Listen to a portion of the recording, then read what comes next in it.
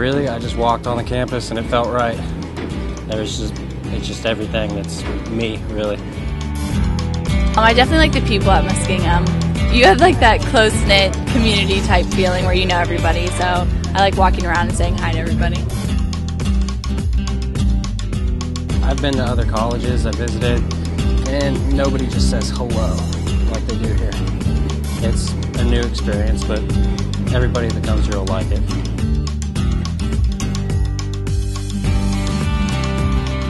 It is a small campus, it's good to get involved.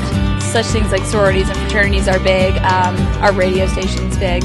Uh, we also have a thing called Center Board, which is good. They have activities Fridays and Saturday nights. They bring in comedians and bands and stuff like that. So there's always that to do on the weekends. Um, there's a lot of clubs and organizations here. You can there's like emails I get every day to join new things. People are really nice and can do pretty much whatever you want. If you want to get into anything, you can.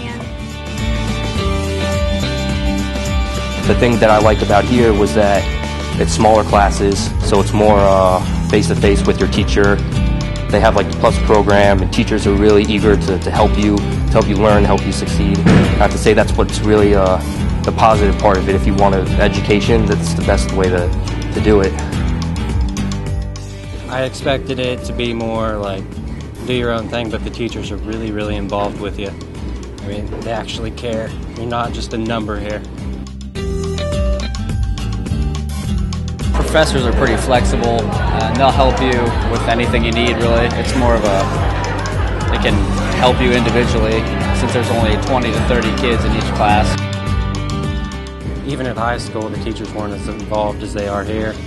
I mean, I have, they offered me the first day to come work with them, one-on-one, office hours. We even get bonus points for going to see them during office hours. Not many places offer that. It's easy to talk to people here, so you don't feel like you're so, you know, alone necessarily. Here, you're not just a number as you would be at like a larger school, say like in Ohio State. So, you know, your faculty helps you out, so you just feel like it's more like a home here. The fact that it's like a small campus, but at the same time it's it's growing. What's really made me come back over the past couple years is uh, just the fact that every time I come here, something new kind of pops up. You know, the bridge was built uh, after I was a freshman. You have to walk up the hill, and the bridge, bridge was built. The chess center was built, and now they have that new music building in front of the school. So I have to say, there's always a new, new something new happening here.